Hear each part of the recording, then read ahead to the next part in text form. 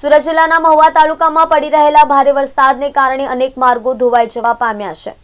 મહુવા તાલુકામાં મેઘરાજાએ તેની તોફાની ઇનિંગ યથાવત રાખતા બુધવારના રોજ વધુ પાંચ ઇંચ વરસાદ ખાબક્યો હતો, જેને કારણે પૂર્ણા અને અંબિકા નદીમાં ઘોડાપુર આવ્યા છે.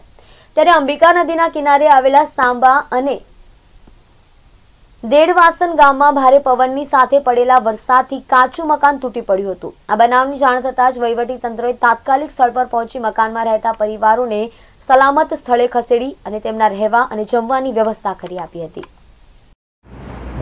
મહુવા તાલુકામાં જે મોસમનો વરસાદ જોઈએ તો એમાં ગઈકાલે એકસો મિલીમીટર જેટલો વરસાદ થયો હતો અને મોસમનો કુલ વરસાદ છે આઠસો મિલીમીટર.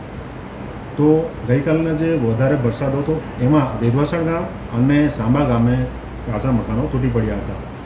તેમજ મહુવા તાલુકામાં બુલેશ્વર છે, મિયાપુર ગામ છે, તેમાં સ્થળાંતર કરવાનો પ્રશ્ન ઊભો થયો હતો, તો એ લોકોને વૈકલ્પિક વ્યવસ્થા તરીકે આશ્રય સ્થાનોમાં લઈ જવામાં આવ્યા હતા અને એમના ખોરાક પાણીની વ્યવસ્થા કરી દેવામાં આવી